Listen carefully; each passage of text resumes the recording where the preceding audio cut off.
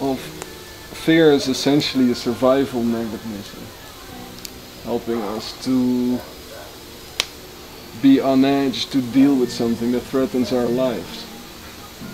Many of those fears that we have nowadays, they're more like social fears, and somewhere we know that they're not life-threatening.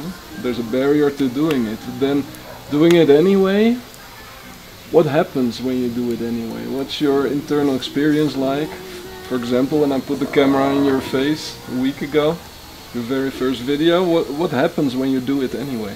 Yeah, well, in that moment, uh, on, on, well, especially the first time, it, you know, I, I, was just too nervous, but it was so good that, that you did it because I was, I was waiting for the moment uh, to do it myself, but I was keep pushing it forward every and every time, and you know, maybe the hardest thing was is just to was just to open, just to open it, and I didn't know how to open it, and after a minute I started to relax a little bit more and it was getting better a little bit.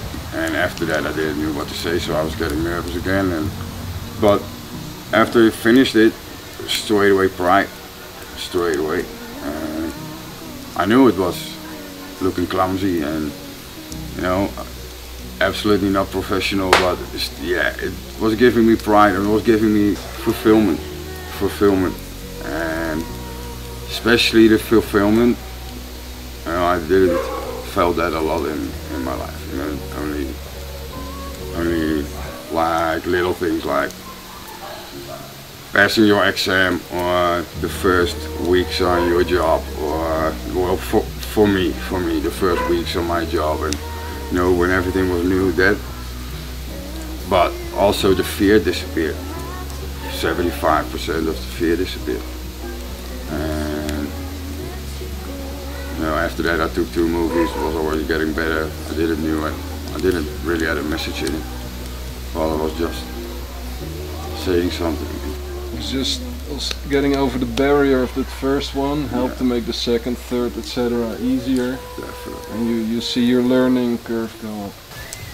Yeah, and I'm proud of it. And giving me fulfillment. You know, I don't give about the likes. Uh, I don't care. You know, I just yeah, I like it. And I think there are plenty people like it.